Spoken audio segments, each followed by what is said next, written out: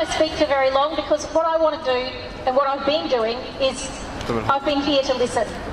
I always learn something whenever I hear Hayden speak or whenever we speak together in my electorate office. And that's what I'm here to do.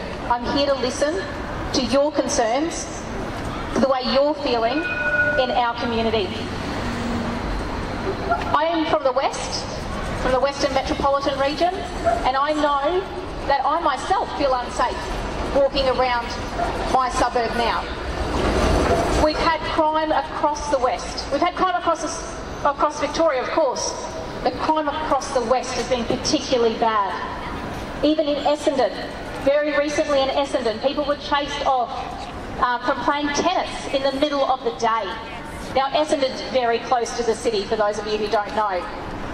And that's appalling. And it is time, it is time for people behind us to listen. Yes. I'm extremely disappointed that only one political party is here today.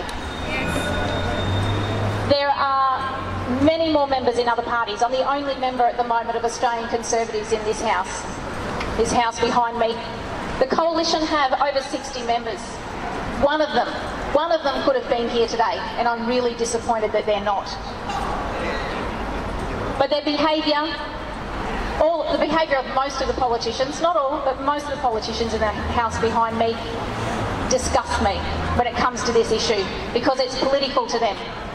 This is not about people, this is about politics. And the decisions they're making are political decisions. They're not about listening to the community. They're not about representing you.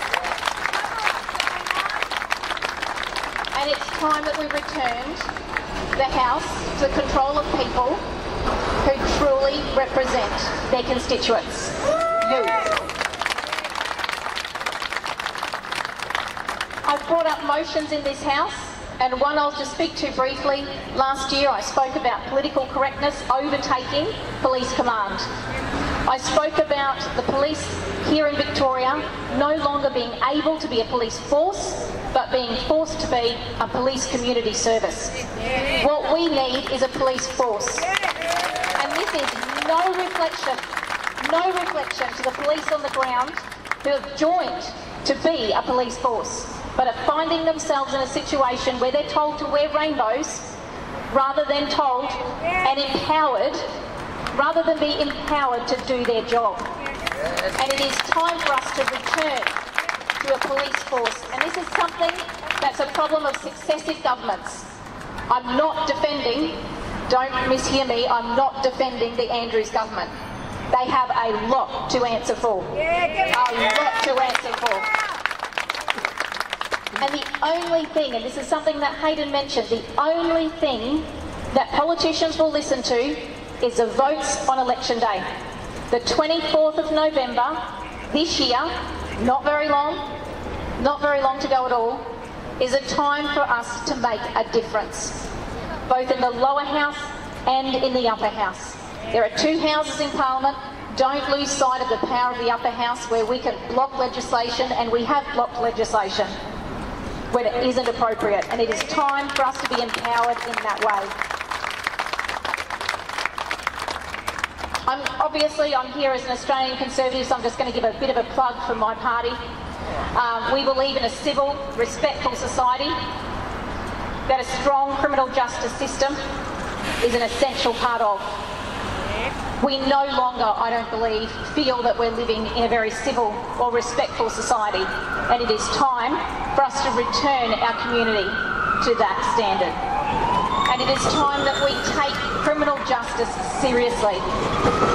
I had someone just today ask me, and they genuinely were asking, can we actually change legislation? And I understand that frustration. I hear that frustration. And the answer is yes. And it does not take 12 months to get bail laws drafted. It does not take that long to consult communities about what is expected. But this House moves slowly the moment. After November, you put your name on the ballot. You vote to change what's happening in this House. It's essential that we do that because laws can change. The judiciary system can change. We need a complete overhaul of both legislation and the judiciary. At the moment, the legislation that's coming through is just fiddling around the edges. That's all it's doing, just tweaking things around the edges, and we need a complete overhaul. It is possible to do that in the next parliament, but we need the numbers inside to make that happen.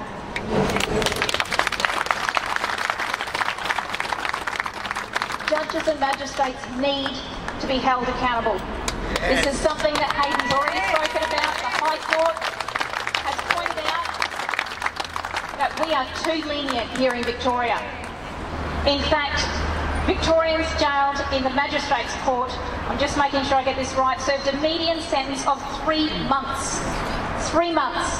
That's the lowest of any state or territory in our country. That is too low. It is time to change. Judicial sentencing simply must, simply must reflect our views, must reflect community standards. So it's one thing to put the legislation through, it's another to change the judiciary so that they are actually implementing the legislation that we put through.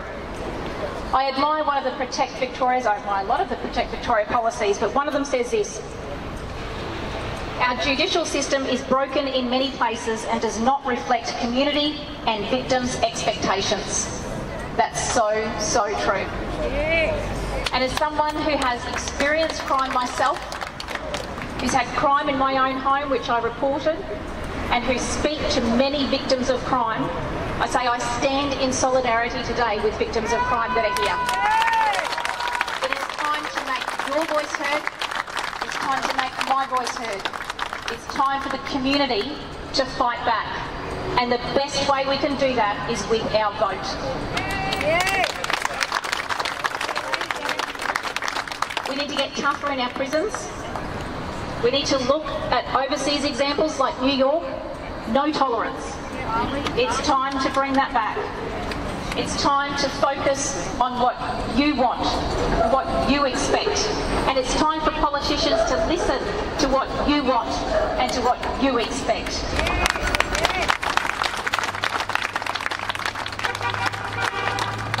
Policy should not just be the responsibility of elected politicians. We can't trust I don't trust, and that's why I'm not in one, the major parties to do what we need them to do. It is time for us to take back the house behind me.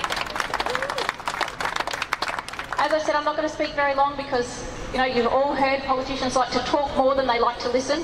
I like to do the opposite. I'm not going to talk for much longer. I just want to encourage each of you.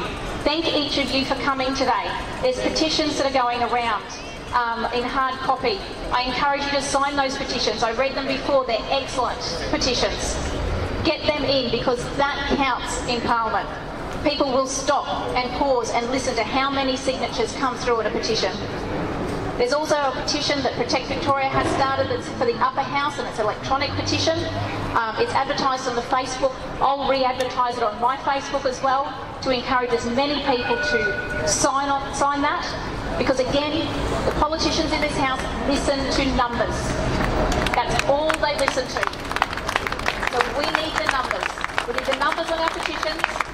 We need the numbers of people like yourselves trying to get in and talk to your politicians and then telling people when you can't get in to see them. And we need the numbers on election day on the 24th of November to change what's happening behind us.